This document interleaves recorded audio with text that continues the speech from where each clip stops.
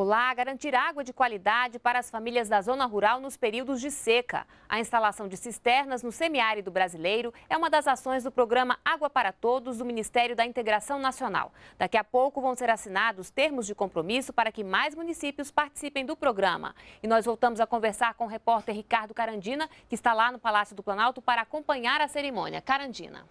Carla, com a assinatura desses termos de compromisso na tarde de hoje, o programa Água para Todos deve chegar Água para Todos deve chegar a outras 40 mil famílias. E quem vai conversar com a gente sobre este programa é o presidente da Codevasf, a Companhia de Desenvolvimento do Vale do São Francisco, Elmo Vaz Bastos de Matos. Bem, presidente, sobre as ações do programa Água para Todos, quais são as ações do programa, de que forma esse programa leva água para essas populações? Boa tarde. Boa tarde. Então, esta é mais uma ação é, com recursos do PAC, dentro do programa é, Brasil Sem Miséria, do Água para Todos, além de sistemas simplificados de abastecimento, como esse que a gente aqui hoje está entregando, é, assinando os termos de compromisso, também temos construção de barreiros, é, que são pequenas barragens, temos também é, a construção da segunda água com kits de irrigação, para as famílias da inclusão produtiva e temos ainda outras ações dentro do Brasil Sem Miséria, como é, kits de irrigação e kits de apicultura. Além de receber esses sistemas de abastecimento, essas famílias também recebem treinamento?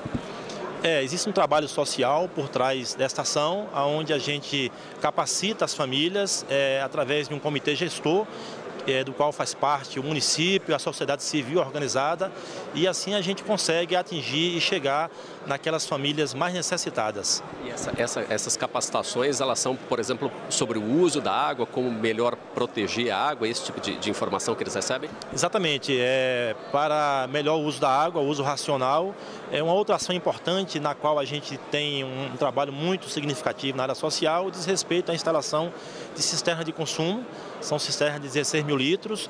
É, só a Codevasf já instalou até agora 70 mil cisternas e temos programado até dezembro de 14 a instalação de mais 101 mil cisternas.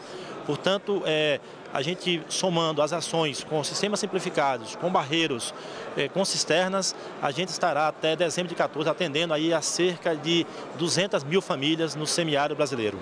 Presidente, qual a importância de um programa como esse para essa população do semiárido? São populações que não têm acesso à água, são populações, comunidades rurais difusas, que a água canalizada não consegue chegar até ela, porque seria economicamente e tecnicamente inviável. Portanto, é, uma cisterna de 16 mil litros ou um sistema simplificado desse faz com que as famílias possam ter água é, não só para é, beber, para a produção do seu alimento, mas também para servir a todo o uso doméstico ali daquela família por um período aí é, de estiagem é, do qual a gente está passando. Essa água também pode ser usada, por exemplo, para a produção de alimentos, para a criação de animais? É, no caso da produção de alimentos e, e a descentralização animal, é, a gente tem um outro programa, que é o programa, como eu falei, de pequenas barragens, construção de barreiros, e também a segunda água, que são os kits produtivos da inclusão produtiva, que visa adotar aquelas famílias da comunidade rural de um sistema pequeno de irrigação de meia hectare. Tá ótimo, agradeço então aqui pela entrevista ao presidente da Codevasf e a gente continua aqui, Carla, no Palácio do Planalto, aguardando o início da cerimônia daqui a pouco, a cerimônia em que vai ser assinado um termo de compromisso para levar o Água para Todos a mais 40 mil famílias. Carla.